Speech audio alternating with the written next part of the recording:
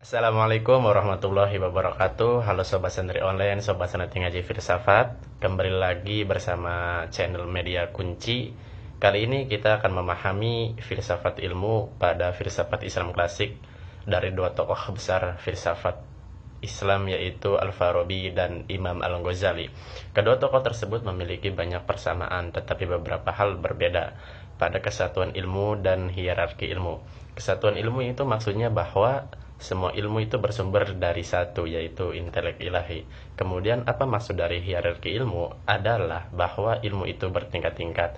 Artinya ada ilmu yang utama, yang afdol, yang mulia dan yang excellent daripada ilmu yang lainnya.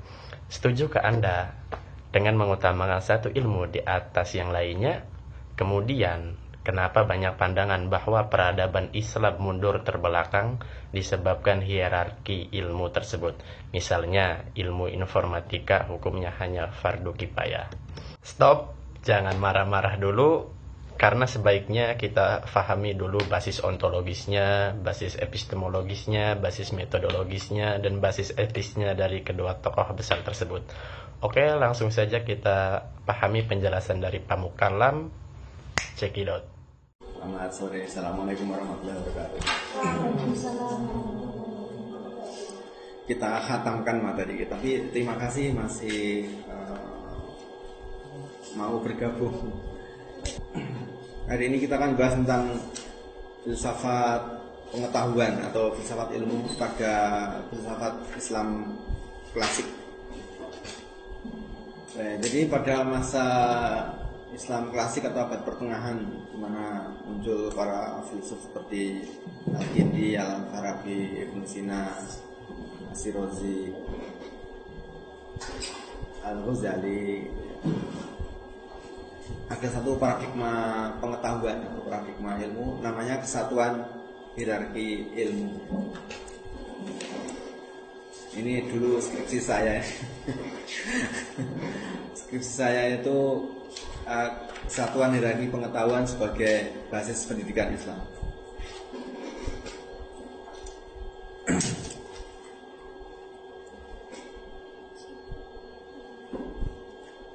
Paradigma ini dianut mayoritas peradaban pada waktu itu bahwa ilmu itu memiliki hierarki. Artinya bertingkat-tingkat. Ada yang lebih utama dibanding ilmu yang lain ya bertingkat-tingkat tapi walaupun demikian paradigmanya juga kesatuan.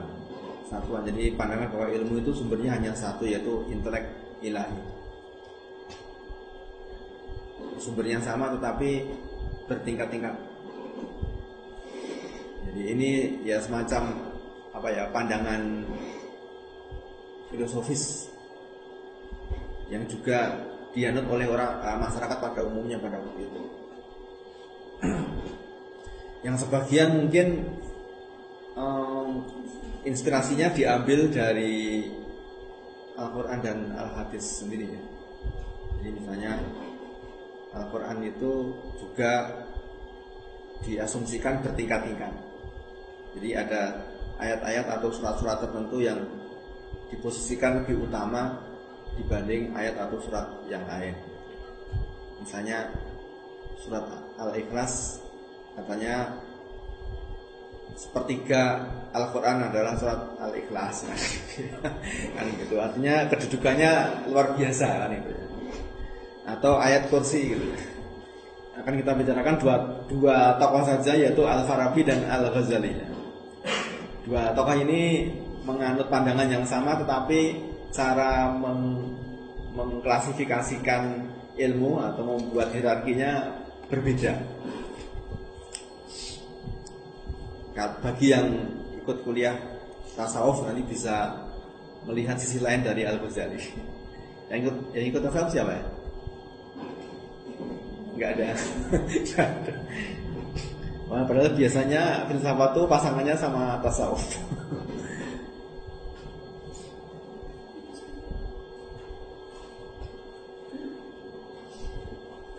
Yang pertama yaitu Al-Farabi ya. Farabi. Jadi uh, ilmu itu dibuat klasifikasi dan hierarkis itu ada empat basis ya, atau fondasi itu basis ontologis, basis epistemologis, basis metodologis, dan basis etis ya. Sebenarnya ini kan cabang filsafat utama yang kita pelajari kemarin itu. Jadi ontologi membicarakan tentang hakikat kenyataan, kemudian epistemologi membicarakan tentang uh, pengetahuan, pengetahuan uh, hakikat pengetahuan, asal pengetahuan, cara-cara memperoleh pengetahuan dan ada satu bagian di dalam epistemologi yaitu metodologi. Cara-cara memperoleh pengetahuan dan uh, bagaimana membuktikan kebenaran pengetahuan yaitu di metodologi kemudian basis etis yaitu manfaat pengetahuan. Jadi menurut Al-Farabi berdasarkan keempat basis ini uh, ilmu itu hierarkis atau bertingkat-tingkat.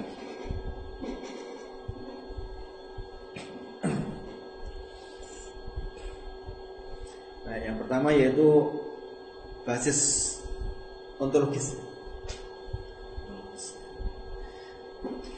Di Al-Farabi punya pandangan tentang ontologi yang juga hierarkis juga. Jadi, ontologi itu kan membahas tentang hakikat ada dan hakikat ada itu menurut uh, Al-Farabi juga bertingkat. Yang pertama ada pertama atau sebab pertama yang merupakan prinsip tertinggi eksistensi setiap ada. Ya, kalau dalam bahasa yang mudah Tuhan atau Allah. Ini ada pertama. Ya, silakan. Silakan. Hanya Al-Farabi menggunakan istilah filsafat ya, tidak menggunakan istilah teologis seperti Tuhan atau Allah, tapi uh, ada pertama atau sebab pertama. Ini mengadopsi istilahnya Aristoteles sebab pertama. Sebab yang menggerakkan dan sebab yang tidak digerakkan. Yang kedua itu adalah ada yang memiliki empat sebab Aristotelian. Yaitu Al-Farabi ini kan menggabungkan Aristoteles, Plato, Plotinus. Jadi ada empat sebab. Kemarin sudah kita bahas ini. Sebab material sebab materi. Meja ini memiliki sebab materi. Kayu misalnya. Sebab formal itu bentuk meja ini ada bentuknya segi panjang. Kemudian efisien pencipta. Di meja ini ada penciptanya tukang kayu. Kemudian eh, sebab final yaitu tujuan. Tujuannya untuk meja rapat karena untuk meja kuliah. Dan yang ketiga yaitu ada yang tidak memiliki sebab material, jadi hanya memiliki sebab formal, efisien dan final. Ini uh, realitas uh, psikis ya, psikis ya, psikis itu tidak memiliki sebab material. Ide, konsep, gagasan itu uh, hanya memiliki tiga sebab saja. saja tidak memiliki sebab material. Jadi ini itu pandangan ontologinya Al-Farabi dan itu berpengaruh pada cara bagaimana dia membuat klasifikasi ilmu pengetahuan. Jadi menurut dia ada beberapa ilmu yang kedudukannya lebih tinggi dibanding ilmu yang lain. Berdasarkan hierarki ada. Kalau yang hierarki ada ini yang paling utama itu yang pertama yaitu Tuhan gitu ya. Ketika orang membahas tentang Tuhan, eh, hakikatnya, sifatnya, eh, perbuatannya itu termasuk yang utama. nah, ilmu apa? Al-Farabi menyebutnya ilmu yang membahas tentang eh, ada non fisik itu, yaitu metafisika. Metafisika. Metafisika dalam pengertian filsafat, bukan dalam pengertian sehari-hari Eh, dalam pengertian dunia hantu-hantu itu karena metafisika pengertian sehari-hari kan dunia hantu-hantu itu Yang metafisika itu uh, ya melampaui dunia fisik sebenarnya ya melampaui dunia fisik. Yaitu ada non fisik yang mutlak itu sebab pertama, kemudian sebab kedua dan intelek aktif kemarin sudah kita bicarakan. Yang agak agak sama sebenarnya yang sebab kedua itu. Karena kemarin uh, kalau mengadopsi teorinya Plotinus itu sebab pertama kemudian uh, intelek aktif ya kan? ini memancar ya.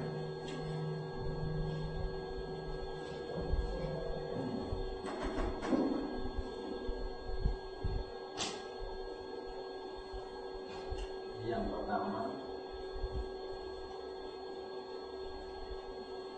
memancar ya. Akal yang besar atau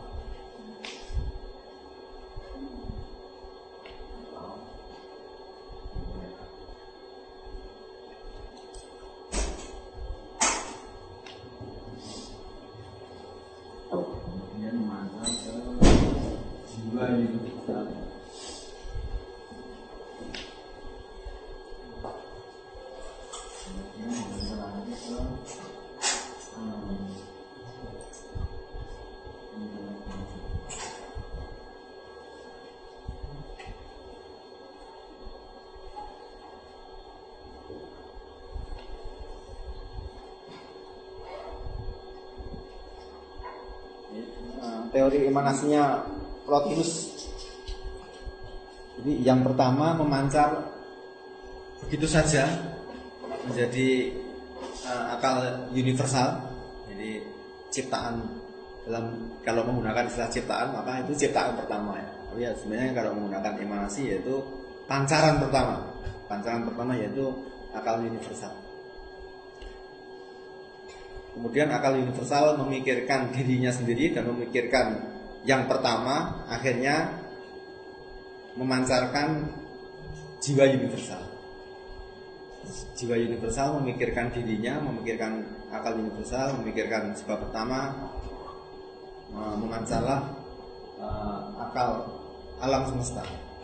Dan dari akal alam semesta itulah muncul kita-kita. kita-kita. Kalau teologi klasik kan uh, kreasio ex nihilo ya. Jadi manusia itu uh, alam semesta juga itu diciptakan dari tidak ada menjadi ada. Kun fayakun. Jadi tadinya nggak ada langsung jreng gitu. langsung kita kitanya ada gitu ya. Dan suatu ketika Tuhan sudah tidak menghendaki lagi, kun fayakun jreng hilang. Tapi kalau pakai emanasi itu uh, digambarkan memancar seperti cahaya.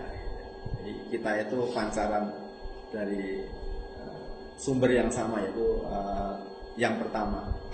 Tapi jauh banget. Kita kita yang sih. Kemudian ada ilmu alam. Nah, ini kalau menurut Al-Farabi ilmu alam ini menempati posisi terendah. Ini berbeda dengan dunia modern ya. Dunia modern itu ilmu alam itu posisinya tertinggi dalam pandangan klasik. Ya alasannya uh, ontologis saja. Ya. Ontologis kenapa? Karena ilmu alam ini mempelajari tentang objek yang memiliki empat sebab Aristotelian tadi. Pelajari itu. Dianggap sebagai wujud yang relatif uh, tidak sempurna. Kalau yang uh, sebab pertama itu wujud sempurna. Nah, sementara ada posisi antara antara ilmu alam dan metafisika yaitu matematika.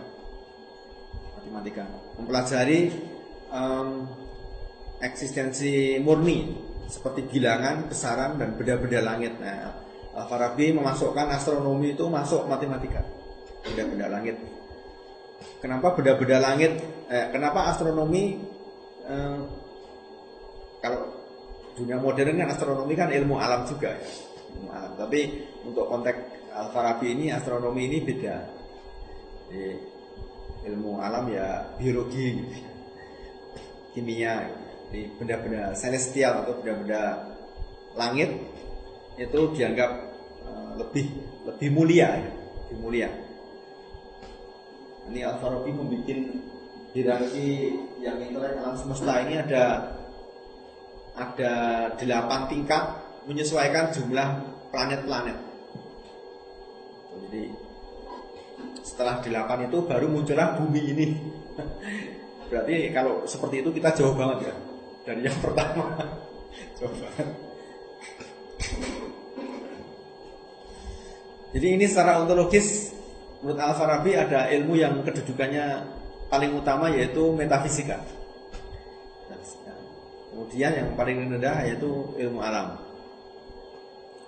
Dan di antara metafisika dan ilmu alam itu ada matematika. Matematika ini juga mempelajari tentang objek-objek non fisik juga gitu ya, tapi objeknya tidak sempurna. Tidak sempurna.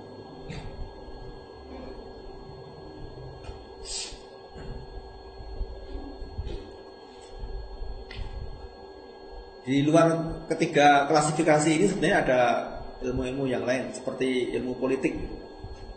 Ilmu politik eh, dianggap lebih tinggi daripada ilmu alam. Karena mempelajari tentang kehendak manusia. Kehendak manusia jadi tidak hanya manusia sebagai fisik, tapi juga manusia yang berkehendak ya diposisikan lebih tinggi.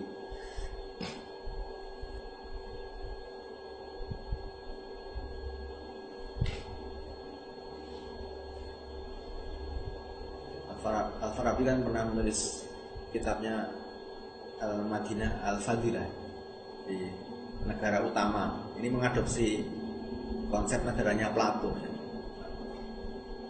Negara itu seperti manusia. Ada bagian paling atas yaitu pikiran, ada bagian tengah yaitu kehendak, dan bagian bawah eh, fisik ya. Makanya kalau menurut Plato yang diadopsi Al-Farabi eh, Pemimpin suatu negara itu idealnya bagian atas yaitu bagian yang bisa berpikir dan unsur yang paling bisa berpikir adalah para filosof. Jadi kepala negara itu idealnya para filosof. Para filosof ini uh, bukan hanya tahu tentang hal-hal praktis tapi juga tahu hal-hal teoritis. Tahu tentang arah tujuan hendak ke mana suatu aktivitas harus diarahkan. Nah, gitu. itu teori. Ya teori ini ternyata dalam praktiknya jarang. Filsuf jadi presiden. Jadi raja saja nggak ada. Ya, monggo kita diskusikan. Mumpung masih sore kan bisa diterapkan ke ilmunya masing-masing ilmu hukum gimana? ilmu hukum lebih kedudukannya lebih tinggi daripada ilmu alam. Karena mempelajari tentang itu apa? Manusia yang juga punya kehendak itu. Masuk itu ilmu politik.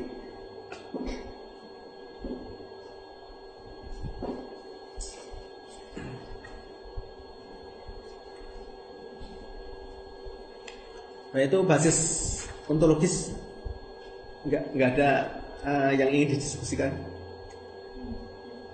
Uh, belum. Berikutnya yaitu basis epistemologis. Basis epistemologis.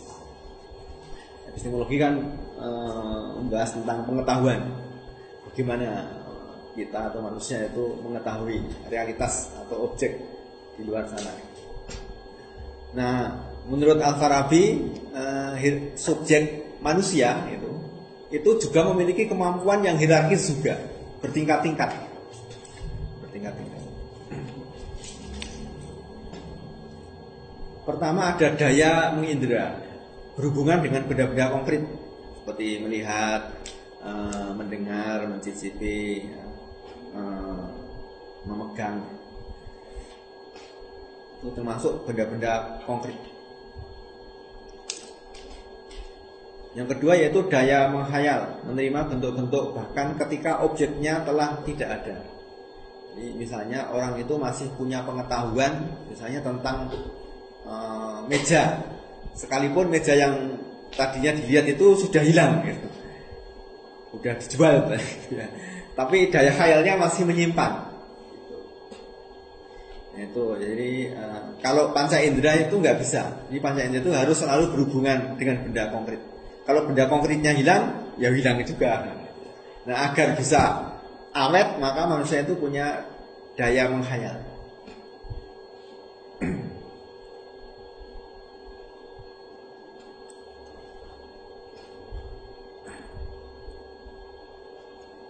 Dan kemudian yang ketiga yaitu daya berpikir. Ya. Berpikir empat eh, di atasnya kemampuan berpikir teoritis dan berpikir praktis. Berpikir teoritis ya tadi itu berpikir tentang uh, objek-objek non fisik itu teoritis. Sementara kalau berpikir praktis itu berpikir tentang cara-cara mencapai uh, sesuatu. Praktis. Ini daya berpikir. Nah ini Al-Farabi manusia itu subjek sebagai subjek pengetahuan itu juga bertingkat-tingkat juga ya. Makanya sekali lagi dia membuat hierarki yang serupa dengan yang tadi. Ya. Misalnya ilmu alam itu menempati kedudukan terendah karena berhubungan dengan indera. Gitu. Makanya ilmu alam itu kan ilmu-ilmu empiris, ilmu-ilmu yang berhubungan dengan uh, panca indera mungkin berbeda dengan dunia modern ya ilmu uh, menempati posisi tinggi. Kemudian matematika ini menempati kedudukan antara karena berhubungan dengan bentuk-bentuk uh, praktis. Nanti Al-Farabi ini sangat mengagumi seperti geometri gitu ya. Geometri ini kan uh, berbicara tentang bentuk-bentuk yang tidak fisik, ya, tidak fisik. Misalnya uh, secara geometris orang bisa bicara uh, luas persegi panjang adalah panjang kali lebar. Ya. Segitiga sama sisi memiliki sudut memiliki derajat sudut yang sama tiap tiap sisinya. Itu itu uh, bukan benda konkret. Kalau dalam dunia tradisional bentuk yang paling sempurna ya sudah kita lihat filmnya kemarin lingkaran. Lingkaran itu bentuk sempurna. Tidak memiliki sudut dan yang ketiga yaitu metafisika. Metafisika ini menempati kedudukan tertinggi karena berhubungan dengan eksistensi murni. Jadi ini berhubungan dengan kemampuan berpikir teoritis. Metafisika. Sehingga hanya orang-orang khusus saja yang uh, mendalami metafisika.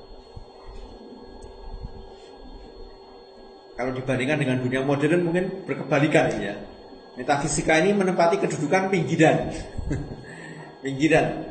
Jadi eh, kalau ada seorang ahli metafisika berbicara eh, tidak banyak orang tertarik. Tapi kalau eh, seorang misalnya ahli biologi molekular gitu ya, wah itu ramai itu ya. Beda, beda masa.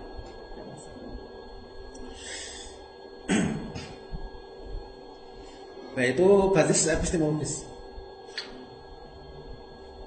Ada yang perlu didiskusikan? Belum ada. Belum ada. Pokoknya satu bagian satu bagian kita diskusikan idealnya.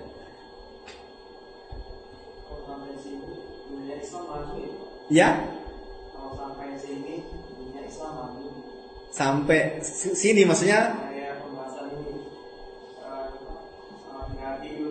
Iya. Kalau dilanjutin ke Al Ghazali orang eh, kebanyakan orang menuduh menurut satu di Al Ghazali. Oh ya, baik nanti akan kita bicarakan karena nanti ada bagian Al Ghazali nanti. ya. Ya kita kan bisa mengkritisi pandangan Al Farabi juga kan. Ini kan bukan doktrin, ini ini uh, cara pandang yang ya, harus kita lihat juga dengan konteks dengan konteks kekinian kita, kita kan boleh protes juga. Kenapa ilmu alam posisinya lebih rendah? gitu.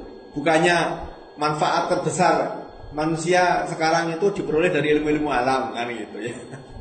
Gitu. Jadi kan kalau cara kita mempertanyakan ulang. Dahulu banyak penyakit yang tidak dapat disembuhkan, tetapi seiring kehadiran kehadiran sains banyak penyakit bisa disembuhkan, ya malaria, kolera, disentri dan sebagainya. Dulu manusia e, mengalami problem kelaparan misalnya. Sains datang bisa menjawab sebagian permasalahan itu misalnya dengan menawarkan e, intensifikasi tanaman atau ekstensifikasi tanaman gitu ya. Itu jadi itu kan uh, tawaran dari ilmu alam juga. Kalau pakai teorinya Robert Malthus katanya uh, pertumbuhan manusia dan makanan itu seperti perbandingannya seperti deret ukur, ukur dan deret hitung. Manusia itu tumbuh dalam dalam deret ukur 1, 5, 10, 15, 20, 25 gitu. Sementara makanan cadangan manusia itu hanya tumbuh dalam deret uh, hitung. Jadi 1, 2, 3, 4 pasti akan ketinggalan ya. Jadi suatu ketika penduduk bumi ini akan lebih banyak dibanding makanannya. Dan kalau itu terjadi maka manusia akan berebut makanan. Kalau manusia berebut makanan maka yang terjadi pasti konflik. Kalau konflik mengeras maka jadilah peperangan. Ya, peperangan mem memperebutkan sumber-sumber makanan. Kalau sudah peperangan ya berarti banyak korban. Gitu. Makanya sains datang untuk menawarkan itu. Termasuk kalau dalam ilmu biologi itu rekayasa genetika itu.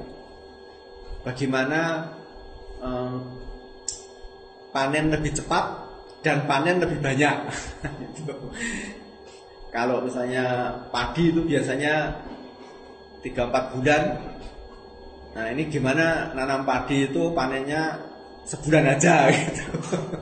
Jadi nunggunya gak usah lama-lama. Karena yang menunggu ini perutnya udah banyak. Dan kalau misalnya satu hektar itu orang bisa panen misalnya uh, eh, 5 kuintal gitu ya maka bagaimana bisa panen e, tiga kali lipat misalnya 15 kuintal gitu. jadi harus begitu ya dan itu disumbangkan oleh ilmu alam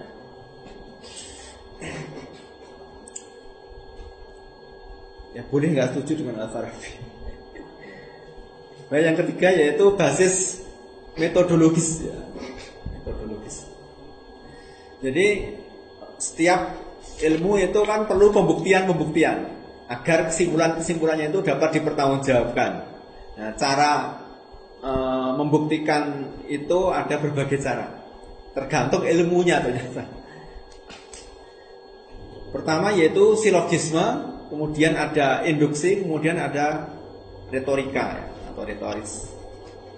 Silogisme atau deduktif sebenarnya, itu penarikan kesimpulan dari yang umum ke yang khusus.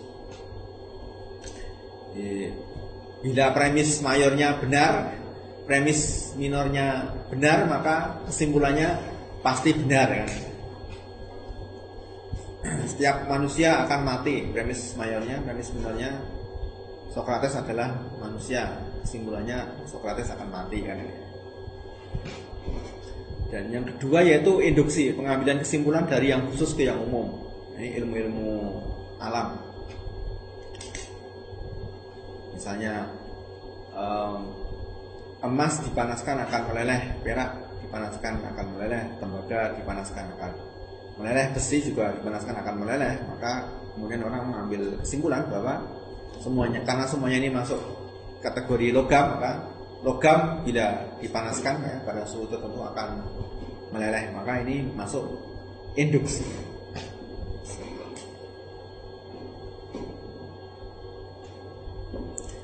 Dan yang ketiga yaitu retorika, yaitu cara membuktikan pengetahuan untuk membuat orang lain percaya, puas dan sependapat. Ini dengan cara mempengaruhinya. Jadi tidak lewat uh, pembuktian deduktif tadi, tidak melalui pembuktian induktif tadi, tapi uh, lewat kekuatan mempengaruhi. Gitu. Ya. Logikanya itu hanya untuk menuntun kita percaya, ya, gitu. Kemarin, nah uh, kemarin sudah kita kasih contoh ya. Misalnya um,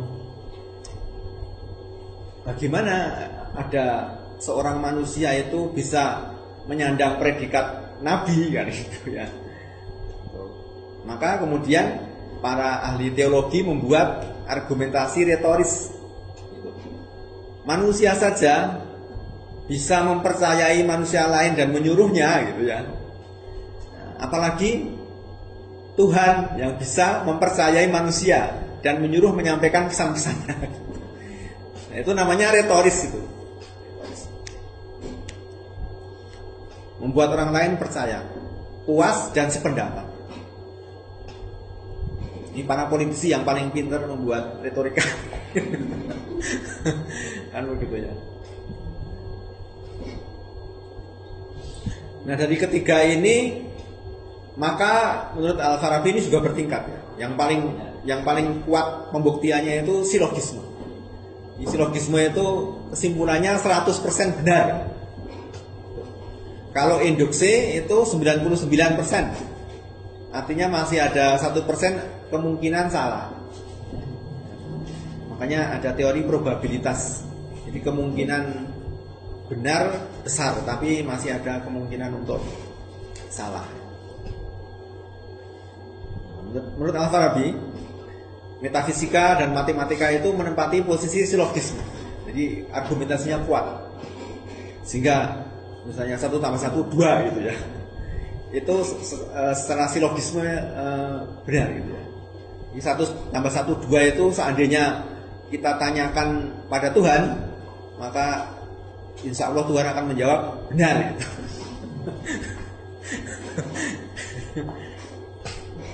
nah sementara ilmu alam itu menempati posisi induksi ya. Induksi. Yang 99% benar. Nah, yang terakhir tuh ilmu kalam. Namanya pemahaman saya. ilmu kalam menempati posisi retoris ya. Jadi para teolog-teolog itu kan intinya kan sebenarnya mengajak orang untuk percaya. Gitu. Ya, mengajak orang percaya itu ya bu, menggunakan sugesti, menggunakan retorika dan sebagainya. Ya.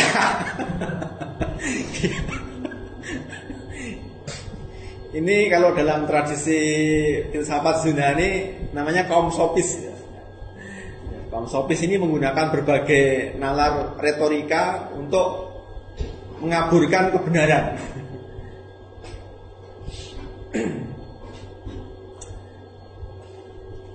Nah ini basis uh, metodologis. Baik, mari kita diskusikan.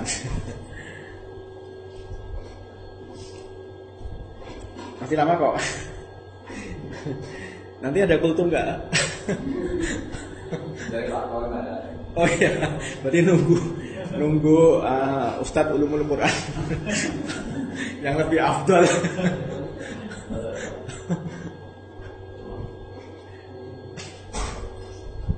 oh iya silakan Mas gimana?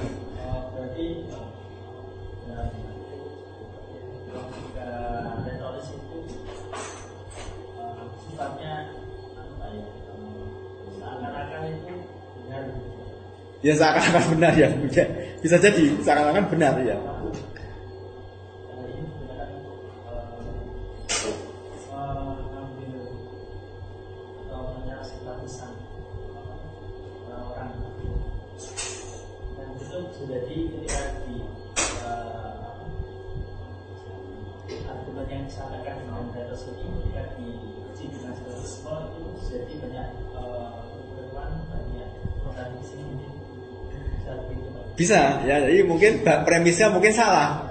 Premis mayornya mungkin salah. Kalau enggak premis minornya salah gitu ya. Jadi kesimpulannya salah. Tapi kalau retorika kan nggak penting. Yang penting orang itu ikut. Itu ya sebenarnya mirip kalau kita menasihati anak kecil jangan jangan banyak makan indomie. nanti nanti rambutmu tambah keriting misalnya gitu. itu sebenarnya retoris ya retoris saja dan anak kecil kemudian percaya akhirnya nggak makan indomie gitu misalnya ya. jadi uh, membuat membuat argumentasi yang yang dituju uh, yang diserang itu bukan nalarnya ya tapi jiwanya. Ya jiwanya. Mempengaruhi jiwa seseorang. Nah, ini mirip yang kita bicarakan kemarin ini setan.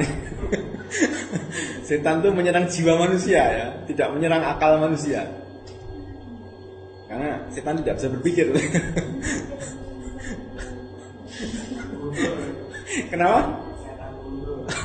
Wah, ya sekarang akhir-akhir ini yang lagi marah apa yang lagi tren istilah ini setan gudul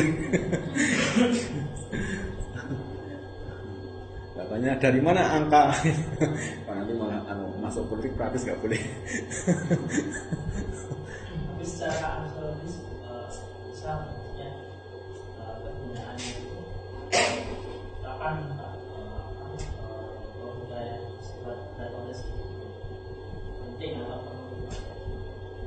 Ya, nanti kita bicara yang basis etis ya itu. Tapi kalau secara metodologi, secara metodologis itu kan harus jelas ya prosedurnya gitu ya, langkah-langkahnya itu bisa didemonstrasikan gitu. Tapi kalau retorika itu kalau ya orang harus harus harus menjelaskan premis mayornya apa, minornya apa, kesimpulannya apa gitu. Wah itu bisa berantakan semua kan gitu ya. Ya. Kalau retoris itu tingkat kebenarannya ya tidak eh, apa ya eh, berbeda dengan kebenaran silogisme. Berbeda dan berbeda dengan kebenaran induksi. Karena target retoris ini sebenarnya hanya membuat orang lain mempercayai. Tanpa mengetahui itu benar atau salah. iya nggak penting itu. Karena memang tidak menyoal tentang pikiran itu tapi mempengaruhi jiwanya jiwanya gitu. Makanya kalau partai polit, eh, politisi paling pintar dalam retorika ini gitu. Kampanye kampanye itu kan paling paling pintar ya menggunakan retorika itu. Kalau yang berbasis agama ya ngutip dalil-dalil dulu gitu. Ngutip dalil yang bagus-bagus gitu. Terakhir-terakhir kesimpulannya pilihlah saya gitu. Ya gitu. Jadi bisa bisa saja premis mayornya itu benar. Tapi mungkin premis minornya salah. Jadi kesimpulannya salah. Dari dari mana? Dari dalil yang menjadi premis mayor itu tiba-tiba kesimpulannya pilihlah saya kan gitu. Itu kan nggak nggak logis sebenarnya nggak logis. Tapi itu tetap eh, dipakai ya dalam hidup manusia orang-orang tua kita juga sering menggunakan retorika waktu membesarkan kita.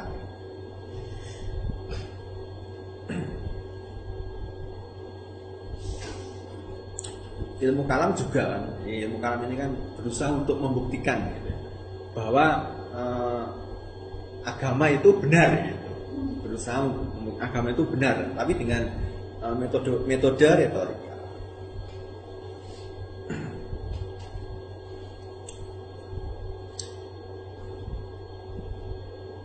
Ada lagi yang mau diobrolkan? Kalau, tidak kita masuk basis etis.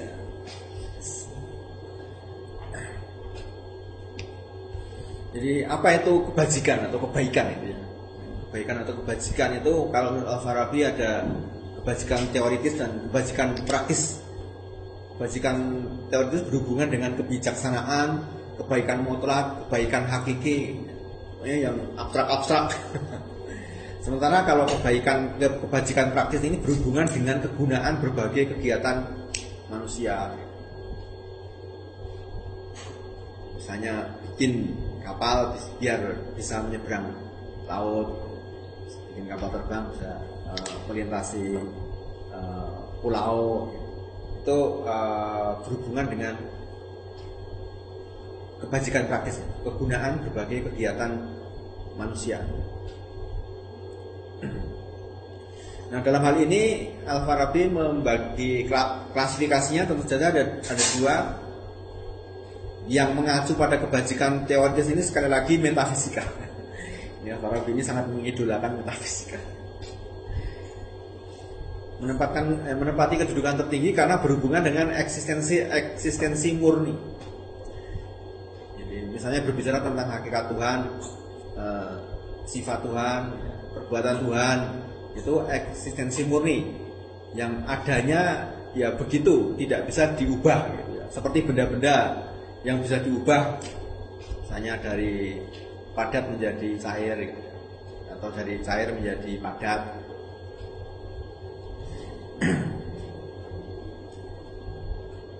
pertanyaan pertanyaan-pertanyaan seperti eh, apakah Tuhan Maha Kuasa itu kan dibahas dalam metafisika ya. Kemarin sudah kita bahas. Pertanyaannya kemarin kan yang menggelitik adalah apakah Tuhan juga kuasa untuk bunuh diri? Kalau Tuhan bunuh diri, nggak ada Tuhan. Tapi pertanyaannya salah. Karena bunuh diri itu bertentangan dengan sifat kuasa Tuhan. Nah, itu namanya eh, teoritis. Apakah Tuhan bisa menciptakan batu sedemikian besarnya sehingga Tuhan tidak mampu mengangkat? Nah, itu di, di, dijawab secara teoritis itu. Nah, pertanyaan itu salah. Pertanyaan itu tidak bisa diajukan pada Tuhan. Karena itu bertentangan dengan sifat kuasanya.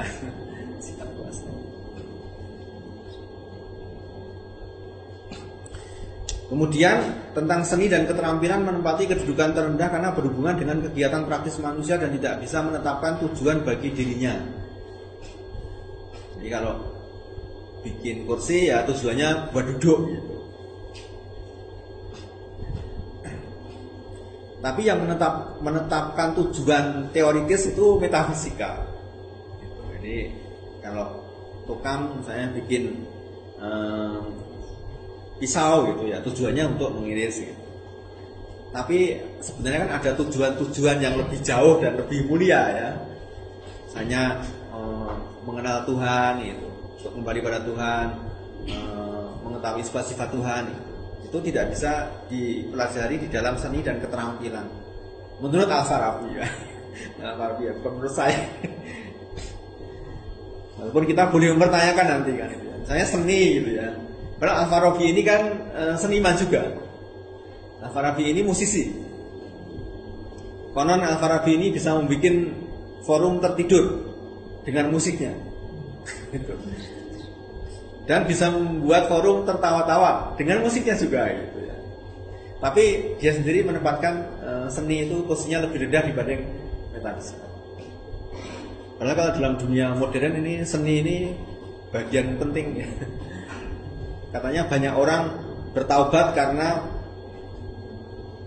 masuk dalam dunia seni. Kemarin sudah di, disampaikan salah satu pemateri di uh, seminar di Cik di Tiroid.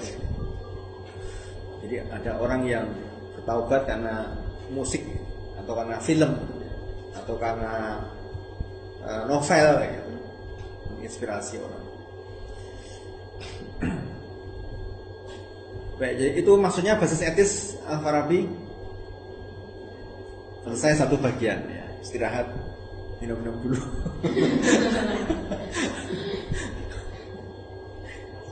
Kita kan biasanya kalau istirahat sambil menikmati makanan. Gimana Mas Ulum? Ada yang mau sampaikan? Oh iya Pak, Eh, kalau melihat realitas masyarakat adat apa aja sih, contohnya bertani, mereka kan mengadakan tradisi waru-waru, apa bisa disebut dengan gabungan metafisik. Ya eh, sepanjang eh, doa-doa atau ritual itu dibimbing dengan nalar metafisis iya. Tapi kan sering kali eh, ritual atau doa itu untuk kepentingan praktis juga. Misalnya berdoa biar panennya banyak gitu. Itu kan untuk kepentingan praktis. Berbeda misalnya ber, eh, berdoa eh, agar nanti setelah panen eh, dapat bersedekah lebih banyak misalnya gitu ya itu kan berbeda jadi ketika ada kata sedekah itu ada konsep yang menghubungkan ke yang transenden gitu jadi bisa saja kan sering kali juga eh, agama itu dalam beberapa hal direduksi ya fungsinya. Itu untuk memenuhi kebutuhan praktis manusia. Seperti jimat-jimat. Kalau kalau apa eh, orang-orang tua kita itu kan sering kali ada ya jimat-jimat yang diambilkan dari eh, ayat-ayat Al-Qur'an. Gitu. jimat-jimat. Fungsinya praktis bukan teoritis praktis. Pasang jimat ini misalnya biar ya kebal misalnya. Ada kan ada banyak jenis jimat ya. Jimat jimat kekebalan. Ma- makanya eh, kearifan itu lebih tinggi dibanding kesaktian. Gitu. Kenapa? Karena orang yang sakti itu bisa tergelincir menjadi penjahat kalau tidak punya kearifan jadi sak- kesaktian itu eh, lebih rendah dibanding kebijaksanaan atau kearifan. Ya ilmu kebal ya. itu eh, bisa membuat orang tergelincir malah jadi eh, ria gitu ya, jadi takabur. Mungkin itu kira-kira kalau saya memaksudkan, jadi bisa saja ya kalau dalam istilah istilah modernnya ya komodifikasi agama. Agama itu kan komoditas, komoditas. Sehingga ya kalau fe- fenomena-fenomena terakhir ya yang kita lihat itu ya komodifikasi agama. Agama itu komoditas. Konsep-konsep tertentu itu jatuh ke tangan eh, kapitalisme berubah berubah makna gitu ya. Misalnya hijrah gitu. hijrah itu berubah makna menjadi berhijab. Nah, itu. Padahal kan konsep hijrah itu kan lebih dalam dan lebih luas kan. Tapi kemudian ada acara di televisi bercerita tentang hijrahnya para artis dari yang tadinya tidak berhijab menjadi berhijab. Itu artinya hijrah.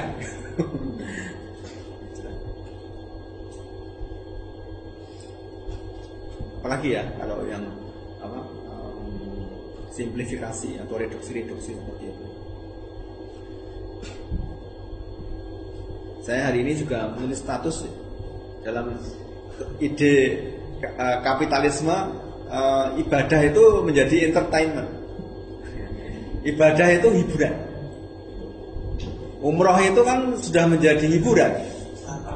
Ya, wisata dan diliput kan itu ya. Yang diliput kemudian diberitakan. Yang memberitakannya pun juga mengambil sisi-sisi yang layak di ya layak diekspos kan gitu ya. Misalnya di sana misalnya em, nanti saya kalau ngomong ini tersinggung. Ya. Ya. Ad- it- yang di- diekspos oleh media misalnya menangis ketika mencium rambut Nabi. Itu kenapa tidak menang- menangis secara metafisis jadi secara praktis itu ya menangis secara praktis karena melihat rambut gitu. Padahal kita kemarin sudah belajar hakikat kenabian itu tidak terletak pada rambutnya. Kan gitu ya. Seseorang menjadi nabi itu bukan karena rambutnya. gitu seseorang itu menjadi nabi itu karena membawa pesan syariat demi kebahagiaan manusia. Artinya kan begitu. Yang ditangkap justru yang artifisial artifisial gitu. Di sana misalnya eh, mengkonsumsi eh, air zam-zam oh, gitu. itu bisa diekspos demikian rupa itu ya. Misalnya menyediakan banyak botol. Itu kalau uh, media kapitalis itu pak paling pintar ya mengolah-olah itu. Tidak ada hubungannya dengan syarat dan rukun umroh.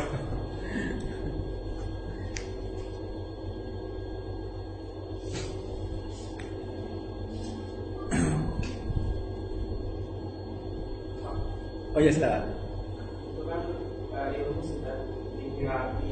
Iya, iya tingkatannya.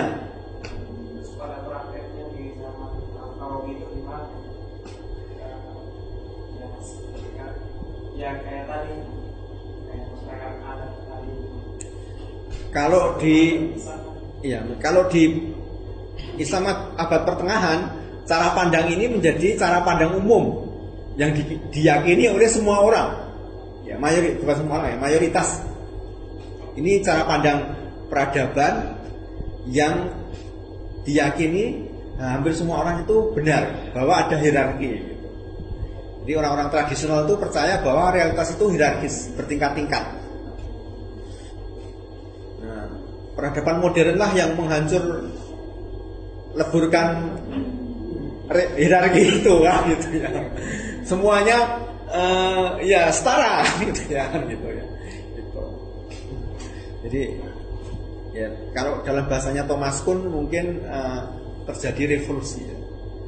Revolusi ilmu itu kan terjadi bila ter- eh, terjadi pergeseran dari satu paradigma ke paradigma yang lain. Itu yang pertama, kedua, yang kedua revolusi ilmu terjadi ketika paradigma yang baru itu diikuti oleh mayoritas eh, ilmuwan atau pemikir. Maka terjadilah revolusi.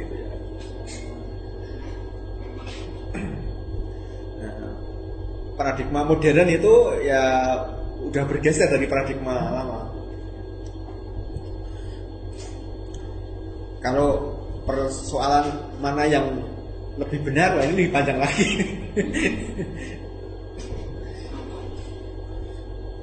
Baik, karena sudah jam 5 kita masuk Al Ghazali ya.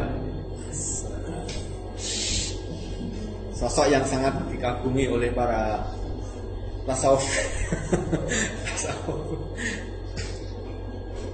Seorang eh, fukuha, seorang teolog, seorang filosof dan seorang sufi sufi. Dan ini juga bertingkat-tingkat ternyata. Tingkatan paling rendah ya fikih gitu ya. Kemudian di atasnya teologi, di atasnya filsafat, nah paling atas itu tasawuf. Dan perjalanan hidup Al-Farabi itu perjalanan hidup menuju tasawuf. Ya, ya Al-Ghazali, ya, maksudnya Al-Ghazali. Al-Ghazali di akhir hidupnya kan eh, sufi gitu.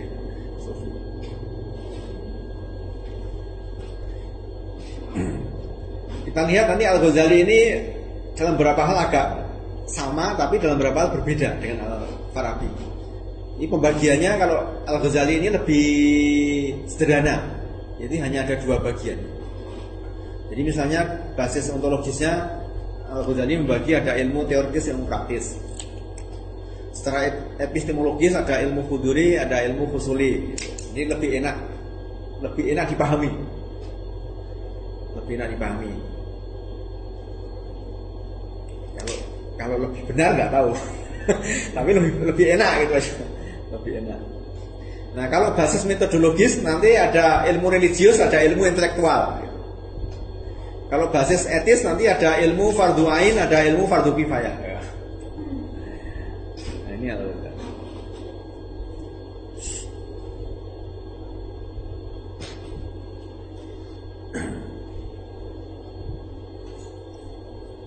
Mari kita lihat eh, jadi seperti apa. Pertama basis ontologis. Nah ini kalau yang pertama sih eh, tidak jauh berbeda dengan Al Farabi tadi ya membagi hierarki ada itu ada ada mutlak dan ada mungkin. Ada mutlak itu ya Tuhan mutlak ya. Ada mungkin itu ada ada yang adanya itu bergantung pada ada yang lain. Seperti kita ini kan adanya bergantung bergantung pada yang lain. Ya bergantung pada orang tua, ya, bergantung pada lingkungan, terakhir ini bergantung pada Tuhan. bergantung pada orang tua, ya tiap bulan nunggu kiriman, itu kan bergantung pada orang tua.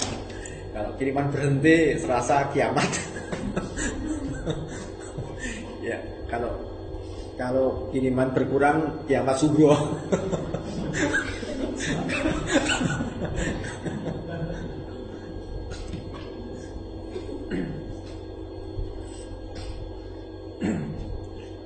karena hierarki ada juga bertingkat, ada ada mutlak, ada ada mungkin, maka ilmunya juga seperti itu, ilmu teoritis salah ketik. Yang berhubungan dengan keadaan-keadaan eksistensi murni. Yang, yang kedua itu ilmu praktis berhubungan dengan tindakan-tindakan manusia.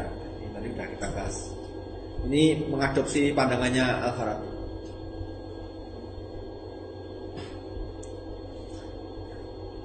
Berikutnya yaitu basis epistemologis. Epistemologis.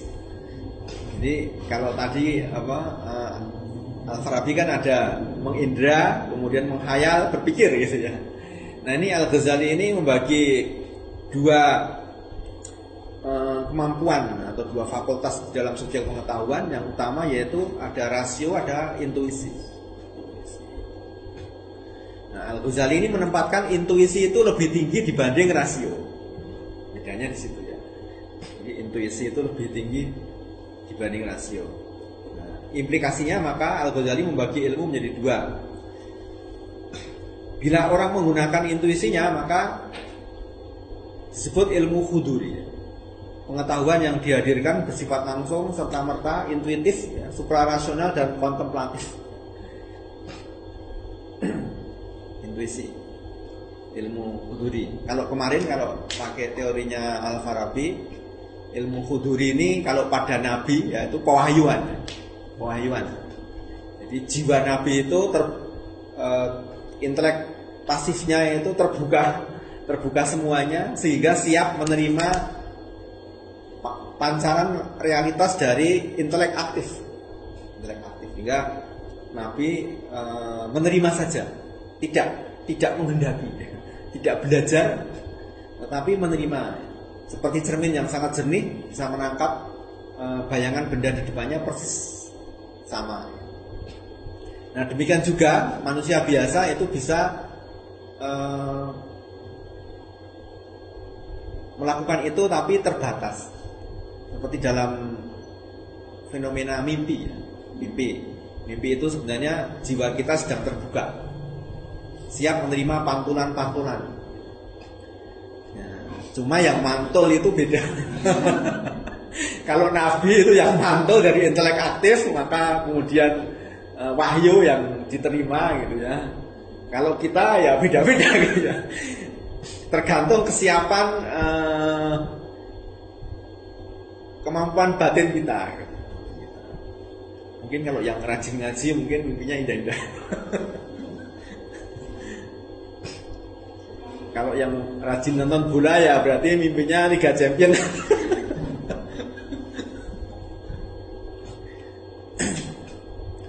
Kemudian rasio. Rasio ini disebut ilmu fusuli yaitu pengetahuan capaian atau perolehan yang bersifat rasional, logis dan diskursif. Jadi yaitu menggunakan kalau bahasanya Al-Farabi itu menggunakan silogisme tadi itu. Silogisme. Jadi ilmu pengetahuannya itu dibangun dengan premis-premis, dengan pernyataan premis maya, premis minor, kesimpulan. Nah, menurut Al-Fara- eh, Al-Ghazali ilmu huduri itu lebih tinggi.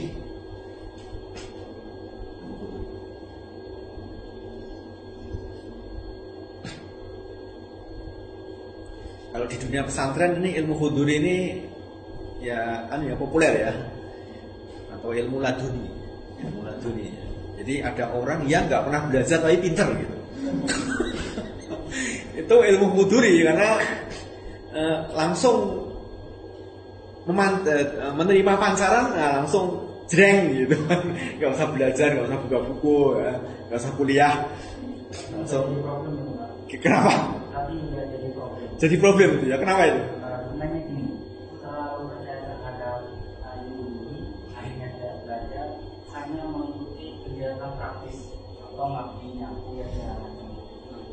Mengingat bahwa menyapu dan mengabdi itu juga dapat berokah, ilmu nanti juga ikut. iya iya iya Pada dasarnya kan tidak ada yang bisa menentukan dapat enggaknya. Kebanyakan enggak ada. artinya, artinya dalam hal ini terlalu spekulatif. Bahayanya di situ. ya bahayanya ya Bahayanya di situ.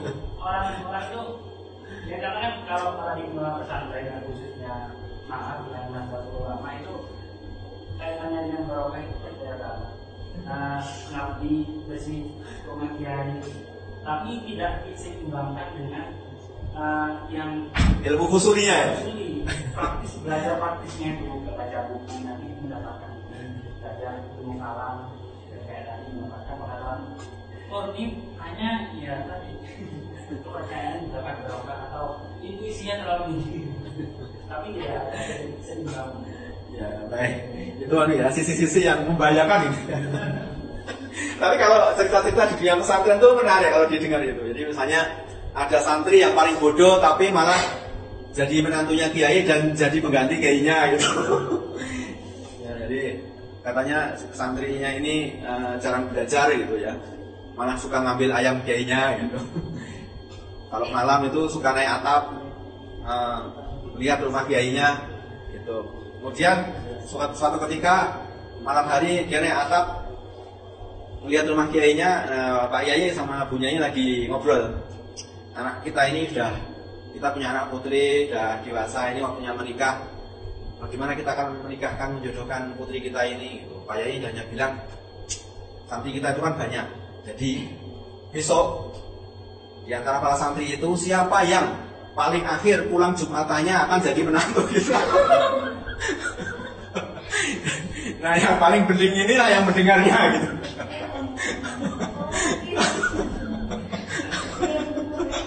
Akhirnya besoknya dia Jumatan dan paling lama pulangnya gitu. Karena Pak Yai kan seperti kamu ini raja ya, uh, Sabdo Panditora itu tan kena wali kan. Jadi perkataan raja itu tidak bisa ya ber- berubah-ubah gitu ya. Pak Yai juga seperti itu karena mungkin seperti Nazar. Ya akhirnya dinikahkan juga sama anaknya gitu ya. Dan kemudian eh, walaupun nggak pinter, tapi belajar ya. Katanya belajarnya lewat mengajar.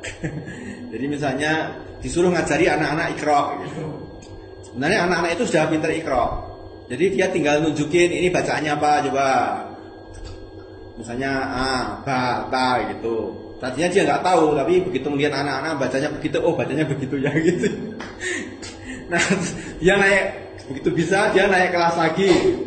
Ya, disiapkan santri-santrinya yang pinter ya. Dia tinggal nunjuk-nunjuk aja gitu.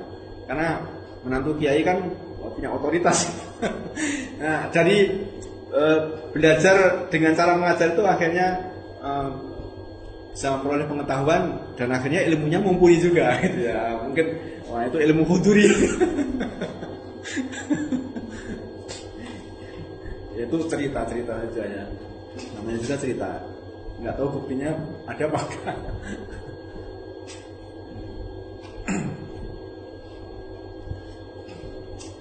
Tapi kalau seandainya misalnya ilmu huduri ini benar-benar ya berarti kampus-kampus tutup semua ini. ya. Nah, kan ya kalau ilmu huduri gimana nyusun skripsinya?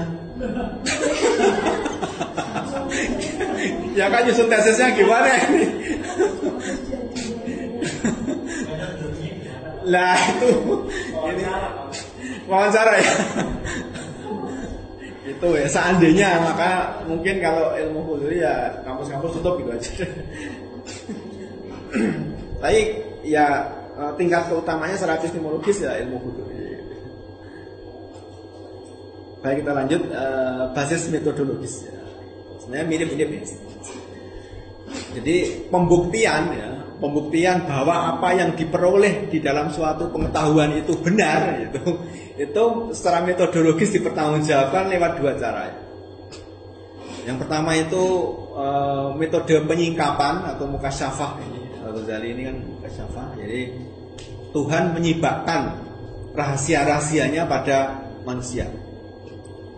Baik rahasia-rahasia yang berhubungan dengan dirinya atau rahasia yang berhubungan dengan hukum-hukum alam semesta. Nah, sementara yang kedua itu demonstratif. Demonstratif itu eh, diskursif sebenarnya. Yaitu dengan penalaran. Dengan penalaran. Jadi manusia menalar dari satu fase ke fase. Sehingga implikasinya maka ada dua ilmu. Pertama ilmu religius, yang kedua ilmu intelektual. Nah, menurut Al-Ghazali ilmu religius ini lebih tinggi daripada ilmu intelektual karena hasil mukasyafah. Sementara ilmu intelektual itu perolehan akal yang dicapai dengan argumentasi-argumentasi. Penyingkapan itu terang benderang gitu ya.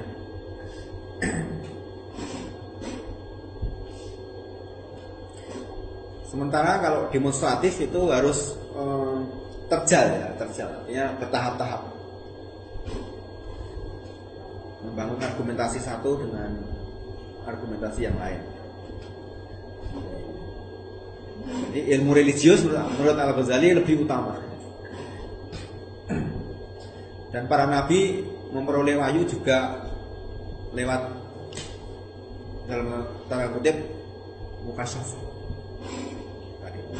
Penyingkapan. Dan orang-orang setelah nabi para ulama para pewaris nabi itu juga memperoleh ilmu-ilmu agama itu lewat penyingkapan.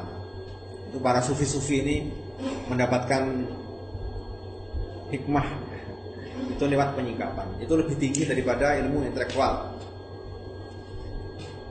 Ini agak beda dengan Al-Farabi yang kita bahas tadi. Biar cepat selesai karena udah mau buka. Baik, yang ketiga, yang terakhir itu basis etis ya. Ya. Oh ya, oke baik. Uh, kebajikan, jadi kebajikan itu ada tiga tingkatan. Pertama terpuji, kemudian tercela, boleh terpuji.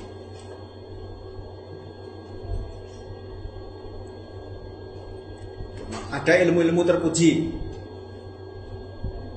ya ilmu-ilmu agama itu masuk terpuji. Ilmu agama itu terpuji gitu ya. ilmu intelektual itu juga terpuji. Nah ilmu yang tercela itu ya ilmu sihir ilmu copet.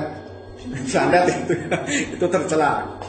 Kalau ilmu yang boleh ya misalnya kuliner. Kuliner itu boleh. Ya boleh kan?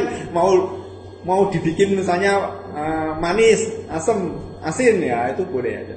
Boleh tapi untuk ilmu yang terpuji itu secara fikih gitu ya dikasih bobot ada yang fardu ain dan fardu kifayah.